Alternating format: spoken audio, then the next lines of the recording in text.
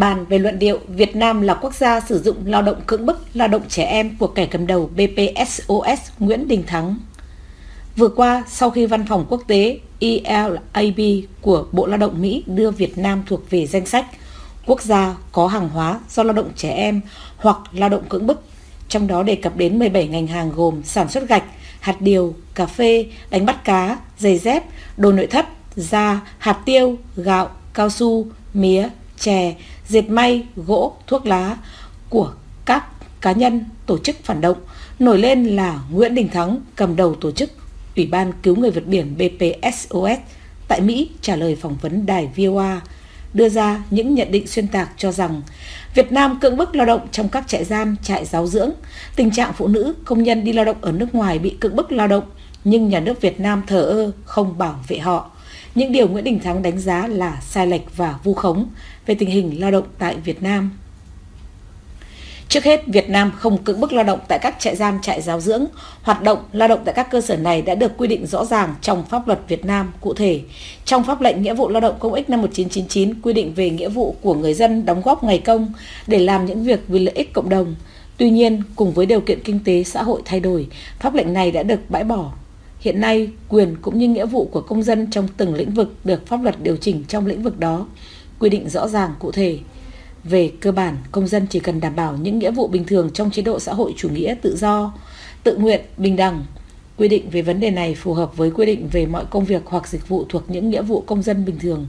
của công dân trong một nước tự quản, hoàn toàn không được coi là lao động cưỡng bức. Đối với trường hợp lao động trong các cơ sở chữa bệnh như đối với người bán dâm, người nghiện ma túy được đưa vào cơ sở chữa bệnh với mục đích trị liệu chữa bệnh, hướng nghiệp dạy nghề để tái hòa nhập cộng đồng cho họ.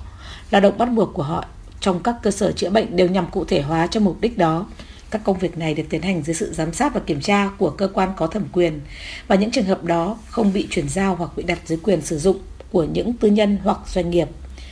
Đối với lao động của người chưa thành niên trong các trường giáo dưỡng, đây không phải là hình phạt hay cưỡng bức lao động, mà là một trong những biện pháp tư pháp có tính giáo dục phòng ngừa do tòa án quyết định. Khi xét xử, tòa án có thể áp dụng biện pháp đưa vào trường giáo dưỡng đối với những người chưa thành niên phạm tội nếu thấy không cần thiết phải áp dụng hình phạt tù hoặc các hình phạt khác đối với họ.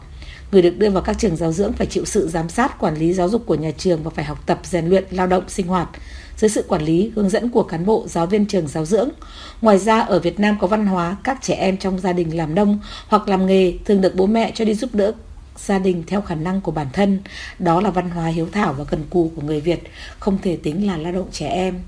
đối với các phạm nhân trong trại giam tham gia lao động bắt buộc. Theo quy định của pháp luật Việt Nam, các phạm nhân trong tù phải chấp hành nội quy quy chế trại giam, trong đó phải chấp hành chế độ lao động bắt buộc phù hợp với độ tuổi, sức khỏe và đáp ứng yêu cầu quản lý giáo dục hòa nhập cộng đồng. Quy định của pháp luật Việt Nam về cơ bản phù hợp với quy định pháp luật quốc tế về việc lao động theo quyết định của tòa án không được coi là lao động cưỡng bức.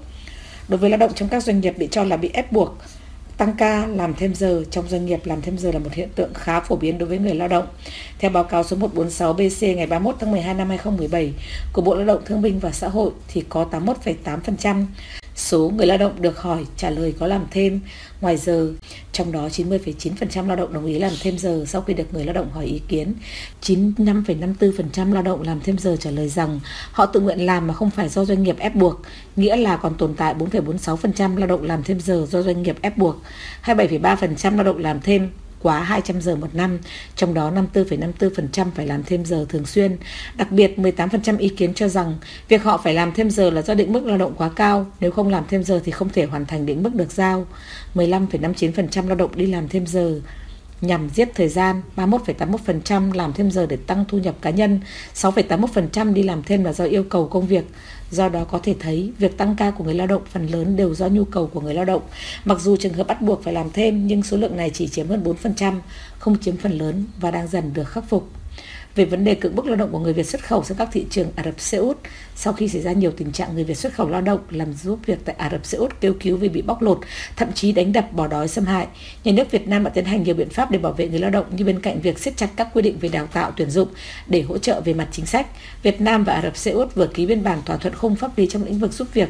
gia đình giúp đảm bảo quyền lợi người lao động. Theo đó, Bộ Lao động Ả Rập Xê Út có trách nhiệm trong việc bảo đảm cho người lao động Việt Nam giấy phép cư trú, liên lạc với gia đình, cung cấp nơi ở, chủ sử dụng lao động phải đảm bảo cho người lao động việc trả lương trợ cấp, được mua bảo hiểm nghỉ ngơi, phù hợp với pháp luật của Ả Rập Xê Út. Bộ Lao động Thương binh và Xã hội và Đại sứ Ả Rập Xê Út tại Việt Nam cũng đã thống nhất chỉ cấp visa cho người lao động đi làm việc thông qua các doanh nghiệp xuất khẩu lao động sau khi có trả lời thẩm định hợp đồng cung ứng lao động của Cục Quản lý Lao động ngoài nước. Việc minh bạch thông tin tuyển dụng cũng đang được Cục Quản lý Lao Việc minh bạch thông tin tuyển dụng cũng đang được Cục Quản lý Lao động ngoài nước triển khai. Theo đó, doanh nghiệp xuất khẩu lao động cung cấp thông tin minh bạch đầy đủ về văn hóa, ẩm thực, phong tục tập quán, điều kiện hợp đồng cho người lao động để họ lựa tự lựa chọn. Với người lao động, Cục khuyến cáo khi muốn đi làm giúp việc gia đình ở nước ngoài, trước hết người lao động cần phải chủ động tìm hiểu văn hóa, môi trường làm việc, điều kiện hợp đồng của nước tiếp nhận. Do đó không thể có chuyện nhà nước Việt Nam thờ ơ không hỗ trợ giúp đỡ lao động Việt Nam thoát khỏi tình trạng bị cưỡng bức lao động như Nguyễn Đình Thắng và các tổ chức phản động xuyên tạc. Nguyễn Đình Thắng, cầm đầu tổ chức BPSOS tại Mỹ là một đối tượng có nhiều hoạt động chống phá nhà nước Việt Nam, đặc biệt trên lĩnh vực dân chủ nhân quyền. Mặt khác, Nguyễn Đình Thắng cũng là đối tượng có nhiều quan hệ hỗ trợ tổ chức người thượng vì công lý MSFG của Y Quynh đối tượng chủ mưu xúi dục trong vụ khủng bố đẫm máu tại Đắk Lắk ngày 11 tháng 6 năm 2023. Do đó, những thông tin do Thắng đưa ra đều nhằm mục đích bôi nhọ hạ uy tín Việt Nam trên trường quốc tế, đều không đáng tin cậy và rất cực đoan. Người đọc cần cảnh giác trước các luận điệu xuyên tạc của đối tượng đó để không bị lừa bịp, lừa dối. Tóm lại, mặc dù vẫn còn những khoảng trống và hạn chế để xóa bỏ